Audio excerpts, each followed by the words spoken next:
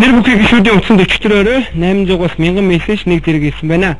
Иргэдээс ирсэн мессежний утга санал нийлэхгүй тийм зүйл байж болохгүй гэдэг утгатай утгыг ойлгоогүй гişүүд эргүүлэн лавлаж үзэхэд дээрх утгатай мессеж гişүүдийн утасны дугаараас иргэдэд очсны дагуу иргэд хариуг нь ирүүлжээ. Манай ерөн байгуулалтын байнгын хорон дарга дахиад хэллээ. Өчигдөр шөнийн 1 цагаас хойш засралтгүй миний утсраа бол 1000 гараад мессеж орж ирсэн. Тэгээ ерөөсөө очныг олдгүй, шүү дээ, тэгж болохгүй дээ гэдэг ийм мессеж орж ирээд байлээ. Тэгээд ямар асуулт асуулсан байна вэ гэж байна. Ятад царгаар хилээ сэтлүүлж гээд 10 онд өөрөө л энэ батлуулсан ботойхон бодлого нь одоо хэрэгжих гэж байгаа шүү дээ. За хоёрт нь бол Bank of China-д барьцаалгаж. А гуравт нь бол газаа газаа 100 жилээр гадныханд өмчлүүлж ийм шийдвэрийг улсын хурл гаргаагүй шүү дээ.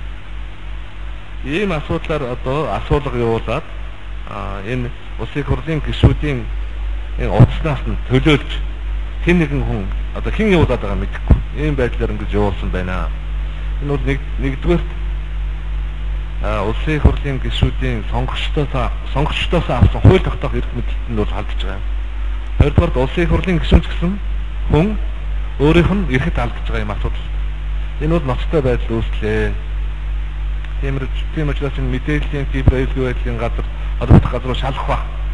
Гэхдээ энэ бол хүч мөкснөө одоо бол цагдаа тагнуулын байгууллага хүчгүй болсон байгаа шүү дээ. Тийм учраас улсын хурлын улсын хурл улсын хурлын холбогдох байнгын хороо засгийн газар энэ дээр дэмжлэг үзүүлэх хэрэгтэй. Яалтаа ажлын хэсэг байгуулах хэрэгтэй. Ийм байдлаар асуудал хандаж болохгүй шүү дээ.